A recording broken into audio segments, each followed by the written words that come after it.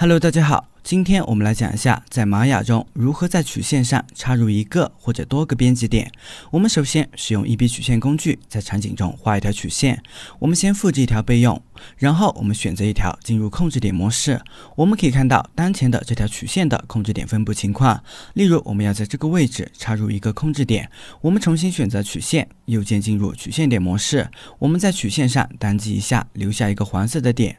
当然，如果我们要插入多个控制点，我们可以按住。Shift 键放置多个顶点，然后我们可以在曲线菜单下选择插入节命令，也可以直接在场景中按住 Shift 键，右键选择插入节命令。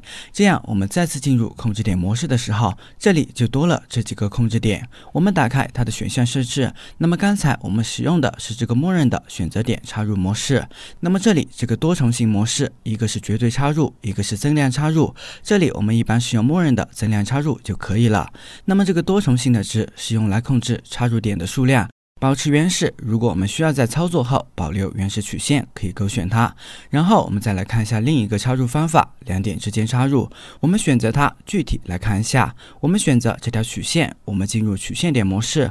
例如，我们要在这个点和这个点之间插入三个控制点，我们就可以把这个插入节的数量设置为三，然后点击应用。我们进入控制点，我们就可以看到，除了插入的这三个顶点，我们开始放置的这两个端点也被插入了进来。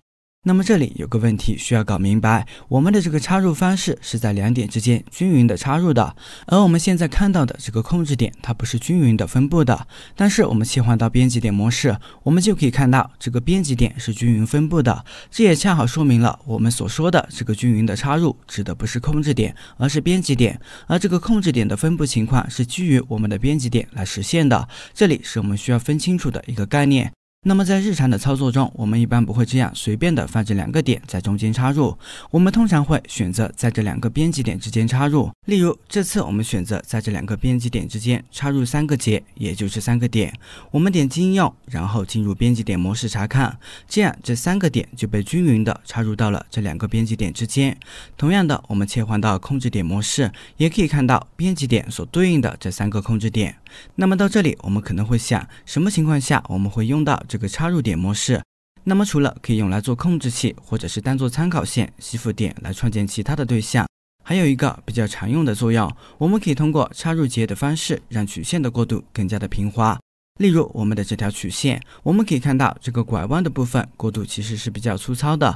这个时候，我们就可以进入编辑点模式，选择在这个编辑点和这个编辑点之间插入节。这里我们可以把插入节的数量设置为五，然后点击应用，这样我们就可以明显的感觉到这个拐弯部分变得平滑了许多。这个就是插入节的一个常用的使用方法。